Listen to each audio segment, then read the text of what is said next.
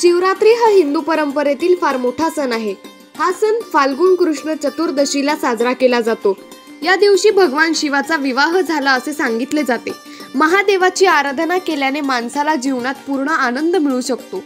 या दिवशी व्रत उपवास मंत्रजप आणि रात्रीची जागर यांचे विशेष महत्त्व सांगितले जाते.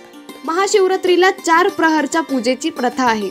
यावेळी अठरा फेब्रुवारीला महाशिवरात्री साजरी होणार आहे. आज देशभरात महाशिवरात्रीनिमित्त विविध धार्मिक व सांस्कृतिक कार्यक्रमांचे आयोजन मोठ्या प्रमाणात केले जाते.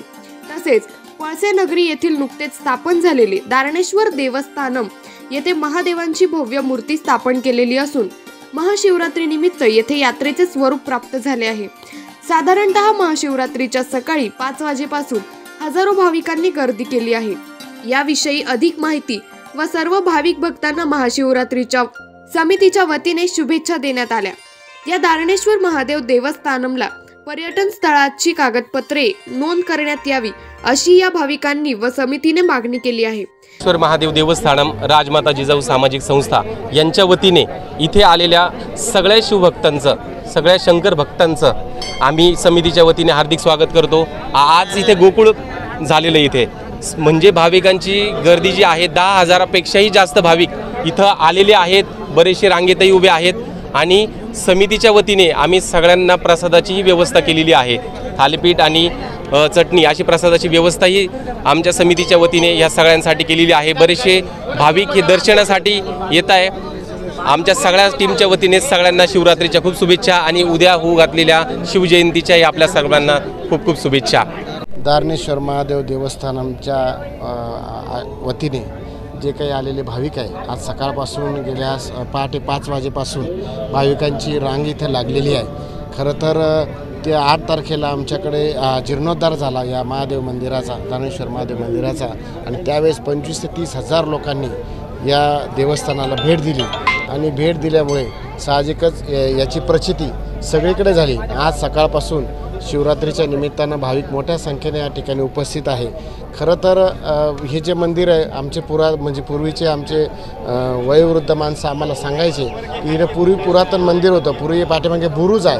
हा बुरुजसुद्धा इथं आपल्याकडे आहे. पाठीमागे आजही तुम्हाला त्या बुरुजाच्या अवशेष दिसतील. तसे इथं जेव्हा इंग्रजांनी हा पूल बांधला त्या पुलाच्या कामामध्ये हे मंदिर झाकलं गेलं. असा इतिहास आम्ही ऐकवण्यात आहे कारण आम्ही तर त्यावेळेस नव्हतो. आणि त्या हे करता करता इथे नकळत मंदिराचं वास्तव्य असल्यामुळे याचा प- जीर्णोद्धार करण्याचा आम्ही संकल्प केला. आणि आमचे जे काही राजमाता जिजाऊ सामाजिक संस्था आहे या संस्थेतल्या सर्व पंचवीस तीस कार्यकर्ते अनिल अण्णाच्या नेतृत्वाखाली एकवटले आणि त्यांनी हे काम हाती घेतलं. त्यासाठी पळसे गाव आणि पंचकृषीने आम्हाला अक्षरशः भरभरून मदत केली. सगळ्यांनी सहकार्य केलं आणि त्यातून आजचा हा सोन्याचा दिवस आपल्याला पाहायला मिळत आहे. खरं तर भगवान शंकरांनीच हे सगळं करून घेतलं आहे आणि आज ह्या ज्या जागृत देवस्थानाचं महत्त्व प्रचिती ही लोकसहभागातून निर्माण झालेली आहे. आणि म्हणून आलेल्या भाविकांचं मी मनापासून देवस्थानांच्या वतीनं स्वागत करतो आणि सगळ्यांनी या सगळ्या पर्वणीचा आनंद घ्यावा. आणि शासनाने सुद्धा इथे पर्यटन स्थळ म्हणून कागदोपत्री मान्यता द्यावी. पूर्वी होतंच परंतु आता त्या ठिकाणी कायदेशीररित्या त्याला मान्यता द्यावी अशी मी मागणी करतो. खरं तर आज शिवरात्र आणि दारणेश्वर महादेव देवस्थान राजमाता जिजाऊ त्यांचे जे अध्यक्ष आहे अनिल अण्णा डेरिंगे त्यांचा सगळा ग्रुप त्यांचे मी मनापासून आभार मानतो. गेल्या एक वर्षापूर्वी या ठिकाणी कुदळी मारली. एक वर्षात हे काम अत्यंत मोठं पूर्ण केलं. त्यांचं मनापासून आभार मानतो आणि आज अत्यंत या ठिकाणी खूप गर्दी आहे.